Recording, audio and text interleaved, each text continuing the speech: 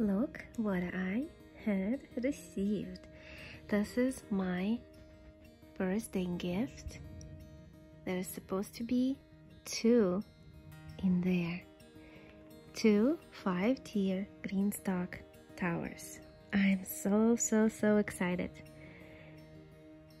Can't wait to plant things in them.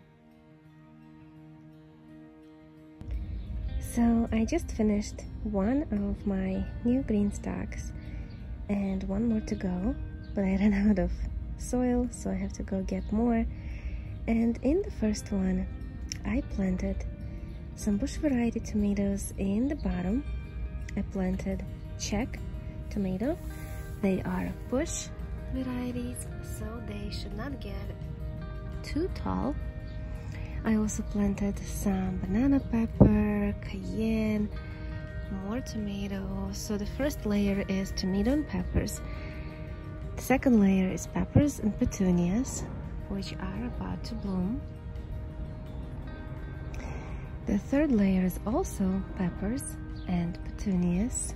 And then the top two is peppers, tomatoes, and herbs. So here I have banana mint, pepper, rosemary over there. And look at this.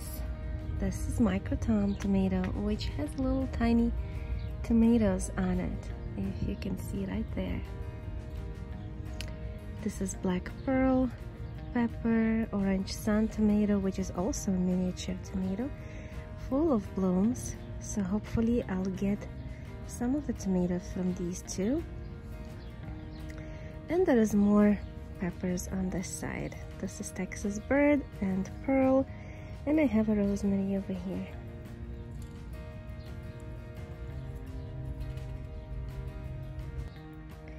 Finally my two GreenStalks are done. I filled them up. I planted a ton of things. So 30 plants per each. That's 60 in total I planted some petunias, but mostly it is vegetables. Or to be precise, fruits, because peppers and tomatoes are fruit. So you can see I have peppers in here, tomatoes, the bush varieties are in the bottom, and these micro miniature tomatoes are on the top.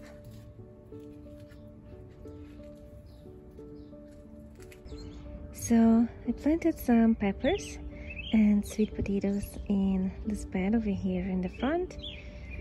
I have petunias and pepper in the pot, pansies in the hanging baskets. And over here I had bok choy growing.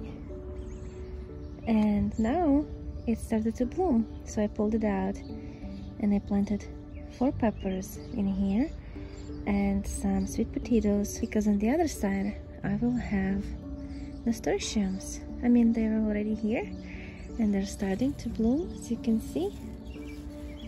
There is a flower there.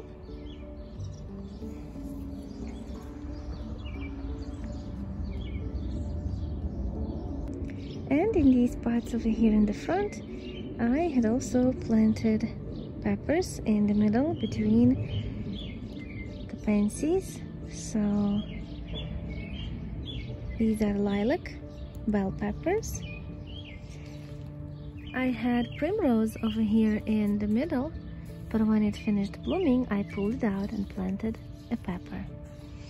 And then later when pansies are done I can add some petunias or sweet potatoes around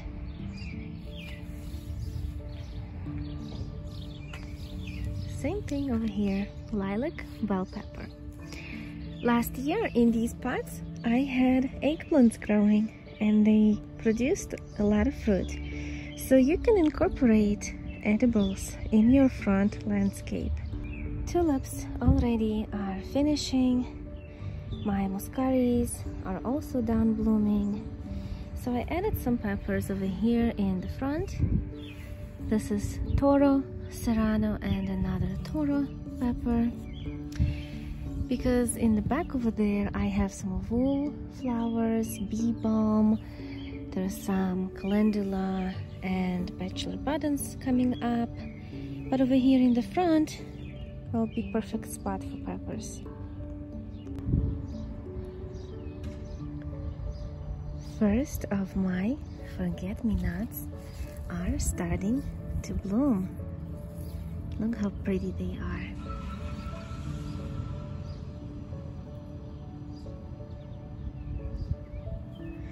I also have some bachelor buttons in here and it looks like they are starting to get buds. You see, those are buds. Looks like my clematis is all budded up so pretty soon we will have a beautiful show here clematis and peony. But for now we enjoy this beautiful anemone. So pretty. It kind of reminds me those white daffodils. Very similar appearance. How to prolong the season of your perennial herbs? Get rid of the bloom stalks. I don't want my sorrel to bloom already, so I'm going to pick these bloom spikes and hopefully that will slow him down a little bit. This is how horseradish is blooming. Looks kind of pretty tiny white flowers. But I don't need this to bloom because I need the root to harvest. So what I'm going to do is to pick this flower stalk and put it in my compost. I was afraid that my pawpaw tree didn't survive the winter. But it did. And it's starting to leaf out. So I'm so happy and excited. It's a tiny little pawpaw, but I love it.